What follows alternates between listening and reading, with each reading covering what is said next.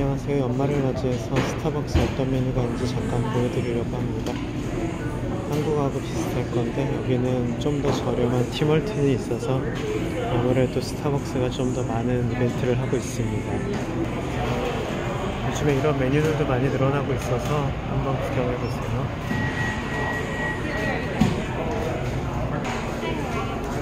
어, can I get a, the snowman cookie and caramel macchiato 20 size?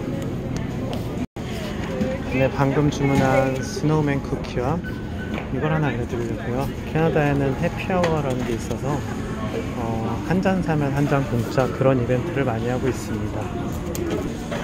또한 캐나다에는 어, Chapters Indigo라는 책방이 있는데 그 안에 이렇게 스타벅스가 같이 있는 데가 많이 있습니다.